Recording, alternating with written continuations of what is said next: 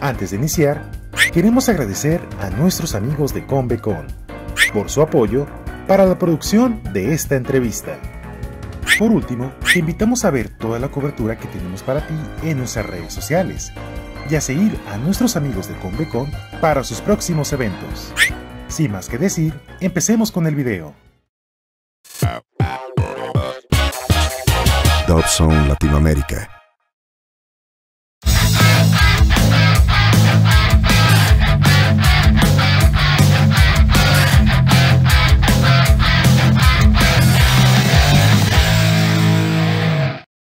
Buenas tardes amigos de Dupso Latinoamérica. El día de hoy estamos con una gran actriz de doblaje después de tres años sin ninguna entrevista presencial como tal. A ella la reconocerán perfectamente por hacer a Lisa Simpson en Los Simpsons, Serena en Sailor Moon y también a muchísimos personajes más. Nos encontramos con la grandiosa Patti Acevedo. Muy buenas tardes, señora Patti, ¿cómo se encuentra? Bien, afortunadamente, gracias. ¡Le di lo mejor! Creí que éramos almas gemelas, qué sé yo. Pero, Miguel, si somos pan con mermelada. Saquen a la traicionera o no sigo haciendo la caricatura, gracias. Vamos a empezar un poco con sus orígenes, con sus comienzos. Usted en 1979 empezó en el doblaje gracias a un acercamiento que tuvo con su papá al trabajar en los estudios Oruga como chef, ¿verdad? ¿Qué fue la que lo motivó para incursionar en el mundo del doblaje? Verlos a ellos, eh, a los grandes actores de aquella época, hacer el doblaje. La sabiduría de Sor Juana Inés de la Cruz, la fuerza del espíritu de Helen Keller, la agudeza de Simón de Beauvoir, la inteligencia de Isabel I y además de todo eso el cuerpo de Michelle Pfeiffer. Empezó en sus comienzos en los 80s. A la par le tocó trabajar con muchísimas franquicias que al día de hoy son muy conocidas, por ejemplo Casa Fantasmas, Alf, La pesadilla en el calle del infierno también. ¿Qué significa para usted formar parte de este colectivo de voces que se encuentran en Latinoamérica por diversas generaciones? Bueno, la verdad es que es una gran responsabilidad. El hecho de que mucha gente me conozca eh, me hace que aún a la fecha yo haga cada vez mi trabajo mejor porque inmediatamente me reconocen. Egon era el cerebro, Rey el corazón y Terza lo seducía. Ujú. ¿Y tú qué eras? El sex appeal. Te ha ido verdaderamente muy bien. Tantos estantes y mucho espacio. En los 90 se incursionó mucho también en la, en la animación como tal. Por ejemplo, llegó Lisa Simpson, llegó también Angélica Pickles, Patty Mayonnaise. Para usted, eh, ¿dimensionó todo el impacto que iban a tener esos personajes al día de hoy en las generaciones actuales? No, la verdad nunca tuve idea de tanta cosa. Yo empecé a hacer doblaje porque según yo iba a ser anónima toda la vida.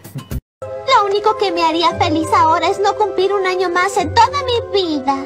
¿Qué quieres decir? Ser grande es divertido. No lo es, Billy. Crecer solo trae tristezas y sinsabores. Llegó un personaje muy importante que, bueno, lo vemos aquí en la camisa que usted trae, que de hecho es su favorito, lo ha comentado en muchísimas entrevistas. Serena, Usagi, Sailor Moon.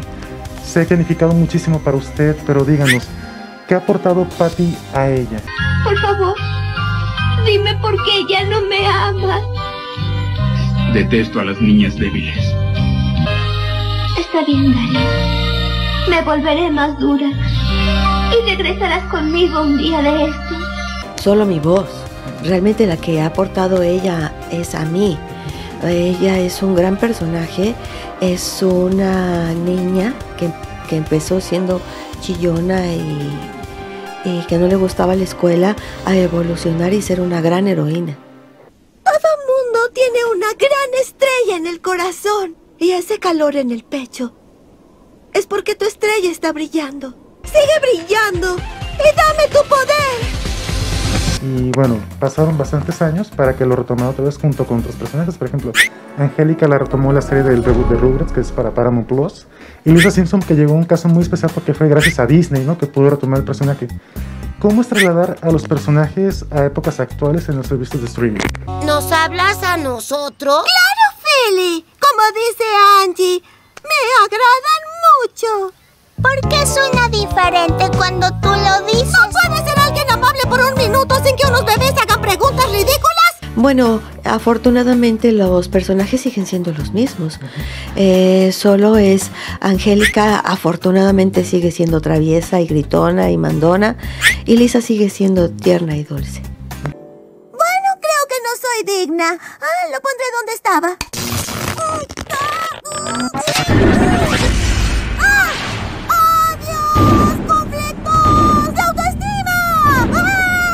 Trabajado en Disney, lo está haciendo de nuevo con Lisa Simpson también. Y ha trabajado específicamente para la plataforma de Disney Plus y Star Channel, este, Star Plus. ¿Cómo es trabajar con Disney para mantener la continuidad con las voces? Bueno, es lo mismo que hacíamos, que hemos hecho siempre. Justamente ellos lo que nos pidieron es hacer nuevamente el tono que hacíamos hace 15 años. Y la única diferencia es que Disney sí mete muchas cancioncitas. Y este, y eso es padrísimo. O sea, estar cantando también me gusta mucho. Parece algo extremo. Tus juguetes él rompió, su cabeza ya perdió. Cool. Pero no mueren al final. Niña deprimente. Y no solamente es actriz, también es directora de doblaje. Ha incursionado en muchísimas series, pero hay una en particular que tiene un fenómeno global bastante grande, que es Stranger Things. Y fue directora de doblaje la segunda y tercera temporada. ¿Qué significa para usted eh, formar parte de, digamos, de alguna forma de la cabeza de este proyecto que ha sido uno de los más importantes en la última década? Nunca me di por vencido. Te llamé cada noche. Cada noche por 353 días. Te escuché. Bueno, la verdad es que a mí me encantó dirigir Stranger Things. Eh, como dices, la nada más dirigí la segunda y la tercera parte. Este, la primera ya la había dirigido Miguel Ángel Guilianza. Y este, y la última la dirigió Bruno Coronel. Exacto. Y la verdad es que me gusta mucho, me gusta mucho la serie y a pesar de no haber dirigido yo la cuarta, igual la vi. Eso no va a pasar. No, no, no, no, no, sin peros.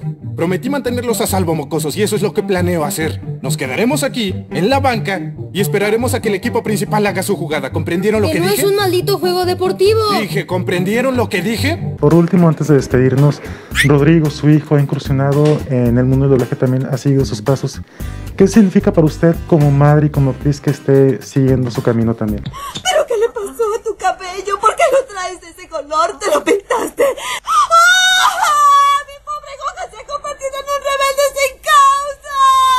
Bueno, me gusta mucho que él también le guste el doblaje hasta cierto punto. Él es ingeniero en sistemas digitales y robótica y en la actualidad se dedica más a su carrera que a doblaje. Pero el doblaje es algo lindo también y cuando hay oportunidad lo sigue haciendo. Estoy embarazada. Espera.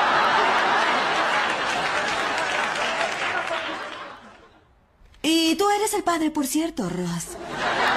Bueno, Katy, muchísimas gracias por ese espacio para su entrevista. ¿Algún comentario que quiera agregar antes de irnos? Querida Lisa, que tu nuevo saxofón te dé años de... ¡Oh!